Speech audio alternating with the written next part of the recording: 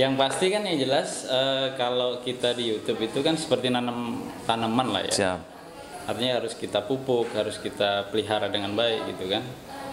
Jadi kalau mau tanaman itu bisa tumbuh baik kan gitu. Ya, terus dipupuk. Bisa berbuah gitu kan. Itu harus kita rawat. gitu Siap. kan. Selamat datang di channel YouTube kami. Jangan lupa subscribe, like, komen, dan share. Caranya klik tombol warna merah di bawah ini. Selamat menonton.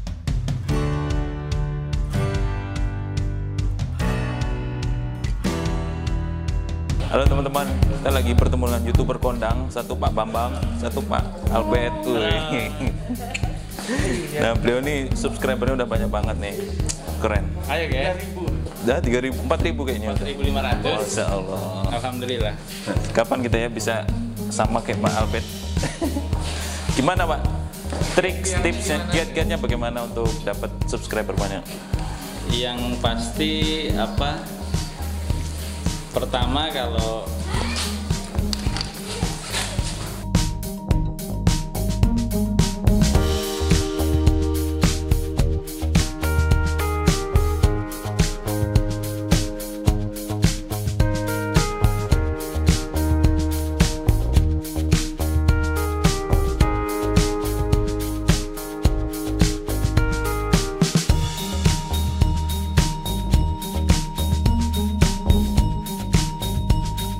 yang pasti kan yang jelas eh, kalau kita di YouTube itu kan seperti nanam tanaman lah ya. Siap. Artinya harus kita pupuk, harus kita pelihara dengan baik gitu kan.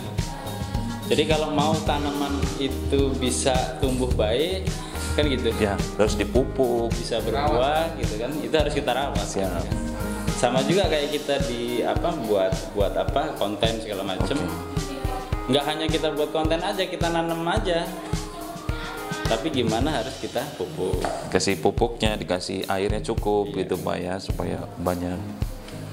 sama Gitu. juga seperti kita eh, jualan produk lah gitu kalau hanya kita pajang aja belum tentu orang tahu gitu Oke, oke.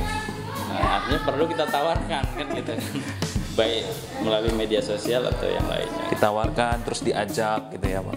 Oke, makasih banyak Pak Oke. Albert saran-sarannya. oke ya Thank you. Ya. Pak Bambang, tembas gedang.